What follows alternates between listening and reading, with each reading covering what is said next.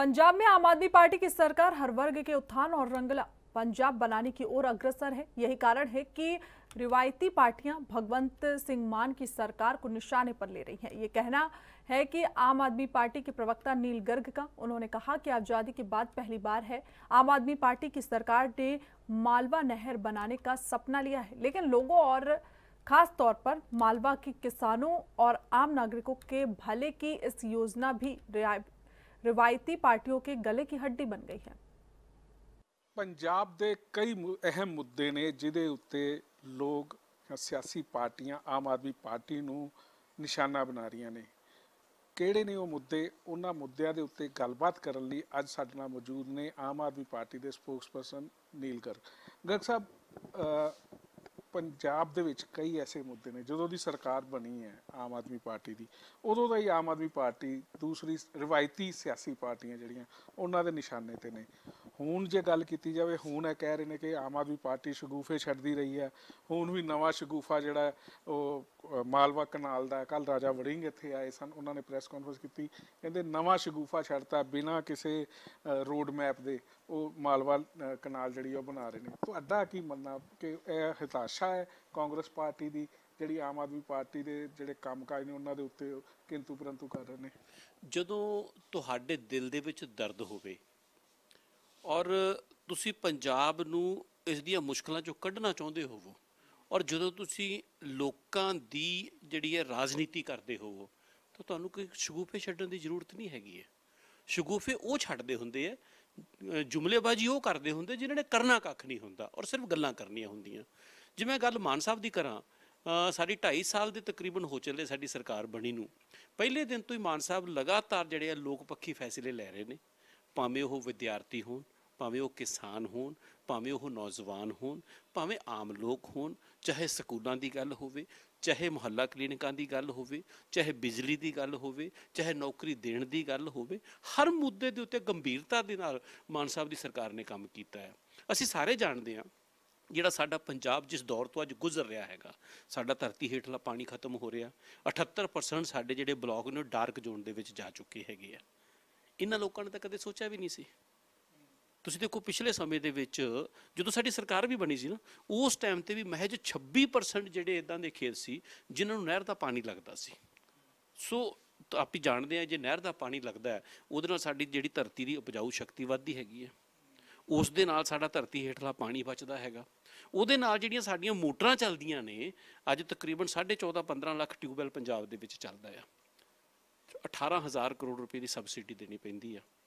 ਤੇ ਜੇ ਅਸੀਂ ਅੱਜ 26% ਤੋਂ ਵਧਾ ਕੇ 72% ਤੱਕ ਪਾਈਪਾਂ ਪਾ ਕੇ, ਖਾਲ ਪੱਕੇ ਕਰਕੇ ਅੱਜ ਨਹਿਰਾਂ ਦਾ ਪਾਣੀ ਜਿਹੜਾ ਖੇਤਾਂ ਨੂੰ ਲੱਗਣਾ ਸ਼ੁਰੂ ਹੋ ਗਿਆ, ਉਹਦੇ ਨਾਲ ਪੰਜਾਬ ਦਾ ਭਲਾ ਹੋਏਗਾ ਜਾਂ ਇਹ ਸ਼ਗੂਫਾ ਹੈਗਾ? ਪਰ ਜਿਹੜੀ ਉਹ ਗੱਲ ਕਰ ਰਹੇ ਨੇ, ਉਹ ਕਹਿ ਰਹੇ ਨੇ ਕਿ ਜਿਹੜੀ ਨਹਿਰ ਹੈ, ਜਿੱਥੋਂ ਕਹਿ ਰਹੇ ਨੇ ਕਿ ਉਹ ਪਾਣੀ ਜਾਣਾ ਉਹ ਇੱਕ ਤੇ ਜਿਹੜੀ ਨਾਲ ਜਗ੍ਹਾ ਲੱਗ ਰਹੀ ਹੈ ਉਹ ਕੁਝ ਰਾਜਸਥਾਨ ਦੀ ਹੈ, ਰਾਜਸਥਾਨ ਸਰਕਾਰ ਦੀ। ਕਿਆ ਰਾਜਸਥਾਨ ਸਰਕਾਰ ਕੋਲੋਂ ਇਹਦੀ ਕੁਝ ਗੱਲਬਾਤ ਹੋ ਗਈ? ਹੈ ਦੂਸਰਾ, ਉਹ ਇਹ ਕਹਿ ਰਹੇ ਨੇ ਕਿ ਨਹਿਰ ਜਿਹੜੀ ਨੇ, ਉਹ ਨੀਵੇਂ ਹੈ ਜਿਹੜੇ ਇਲਾਕੇ ਨੂੰ ਇਹ ਕਹਿ ਰਹੇ ਨੇ, ਉਹ ਉੱਚਾ ਚੜਦੇ ਨੂੰ ਹੈ। ਤੇ ਨੀਵੇਂ ਤੋਂ ਚੜ੍ਹਦੇ ਨੂੰ ਮੋਟਰਾਂ ਲਾਣੀਆਂ ਪੈਣਗੀਆਂ, ਉਹਦਾ ਉਹ ਰਾਜਾ ਵੜਿੰਗ ਕੱਲ ਕਹਿੰਦੇ, ਪਹਿਲੀਆਂ ਸਰਕਾਰਾਂ ਵੀ ਜਿਹੜੀਆਂ ਇਸ ਬਾਰੇ ਗੱਲ ਕਰ ਚੁੱਕੀਆਂ ਸੀ, ਉਹਨਾਂ ਨੇ ਟੈਕਨੀਕਲੀ ਤੌਰ ਤੇ ਇਹ ਫੇਲ ਕਰ ਦਿੱਤਾ ਸੀ। ਇਹ ਸਰਕਾਰ ਦੁਬਾਰਾ ਤੋਂ ਲਿਆ ਰਹੀ ਹੈ ਫੇਲ ਪ੍ਰੋਜੈਕਟ ਨੂੰ ਦੁਬਾਰਾ ਲਿਆ ਰਹੀ ਹੈ ਤੇ ਇਹਦੇ ਤੇ ਕੀ ਉਹ ਉਹ ਇਸੇ ਕਾਰਨ ਨੂੰ ਕਹਿੰਦੇ ਕਿ ਸ਼ਗੂਫਾ ਹੀ ਹੈ। ਮੈਂ ਰਾਜਾ ਵੜਿੰਗ ਸਾਹਿਬ ਨੂੰ ਕਹਿਣਾ ਚਾਹੁੰਦਾ ਵਾਂ ਕਿ ਰਾਜਾ ਵੜਿੰਗ ਸਾਹਿਬ, ਜਿਹੜੀ ਇਹ ਥੋੜੀ ਨਕਾਰਾਤਮਕ ਨਾ ਪੱਕੀ ਸੋਚ ਹੈ ਨਾ, ਕਦੀ ਤੋਂ ਇਹ ਚੋਂ ਬਾਹਰ ਆ ਜਾਵੋ। ਨੈਚੁਰਲੀ ਤੁਸੀਂ ਪੰਜਾਬ ਨੂੰ ਫੇਲ ਕਰਕੇ ਛੱਡਿਆ ਹੈਗਾ। ਹਰ ਫੀਲਡ ਦੇ ਵਿੱਚ ਫੇਲ ਕਰਕੇ ਛੱਡਿਆ ਹੈਗਾ। ਤੇ ਅੱਜ ਜੇ ਮਾਨ ਸਾਹਿਬ ਦੀ ਸਰਕਾਰ ਇੱਕ ਚੰਗਾ ਕੰਮ ਕਰ ਰਹੀ ਹੈਗੀ ਹੈ, ਜੇ ਇੱਕ ਇਨੋਵੇਟਿਵ ਕੰਮ ਕਰ ਰਹੀ ਹੈਗੀ ਹੈ, ਤੇ ਕਦੇ ਤੇ ਐਪਰੀਸ਼ੀਏਟ ਕਰ ਦਿਓ।